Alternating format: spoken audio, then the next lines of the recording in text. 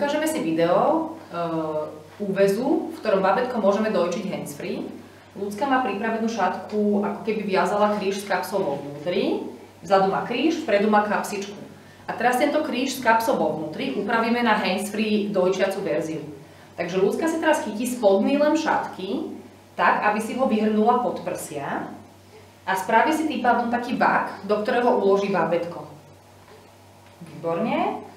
Tá kapsička by mala byť taká voľná, aby sa sem zmestilo bábetko, čiže podľa veľkosti bábetka to odhadneme. A bábetko si teraz chytí ľudská na tú ruku, z ktorého prsníka pôjde dojčiť. Tak, čiže ľudská ide dojčiť z ľavého prsníka, takže dieťatko drží na ľavej ruke. Pravou rukou si roztvorí kapsičku a vloží riťku pod pravý prsník. A za riťkou bábetka sa automaticky ukladajú aj nožičky. Teraz do tej kapsičky uložíme celé dieťatko.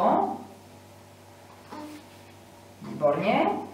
Keď je celé babetko v kapsičke, môžeme sa s ním malinko predkloniť, aby sme vedeli jeho ručičku dať ako keby pod prsník. Čiže babetko si objíme maminku zo spodu prsníka. Teraz si ľudská zatiahne to, čo vysí pri hlavičke bábetka, čiže zatiahne riťku bábetku.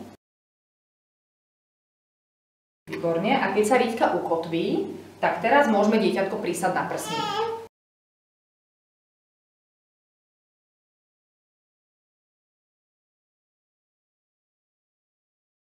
Počkáme na veľkú púsku bábetka. S bradávkou mu môžeme chodiť po hornej pere, aby sme ho nastimulovali k tomu otvoreniu pusinky.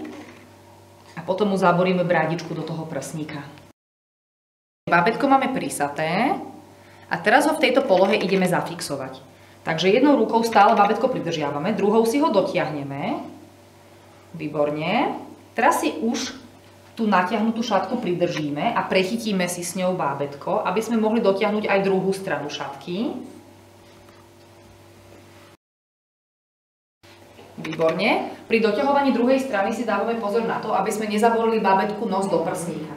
Takže túto nechávame jemnú vôľu okolo hlavičku.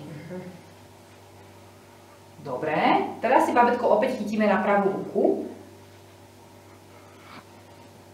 Výborne. A ideme túto ruku nahradiť týmto pruhom šatky. Takže ešte raz šatku dobre dotiahneme. Výborne. A kopírujeme natiahnutú časť šatky okolo hlavičky, krku, až cez teličko bábetka a zastavíme sa na riťke. Výborne. Teraz prekrížime tento prúh šatky cez tú riťku. Výborne.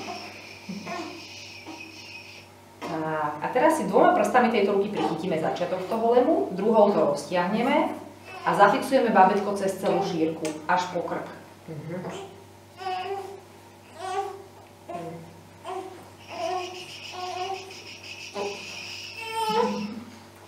Ak sa nám babetko medzičasom odsaje, môžeme ho znova prísať.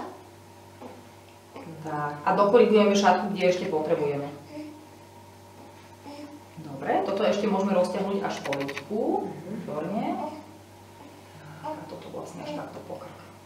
Výborne. Teraz ešte urobíme ľudské trošku dobre. Toto je zhrnieme z krku, aby to nemala cez krčnú chrbticu, ale skôr cez lopatky. Hotovo.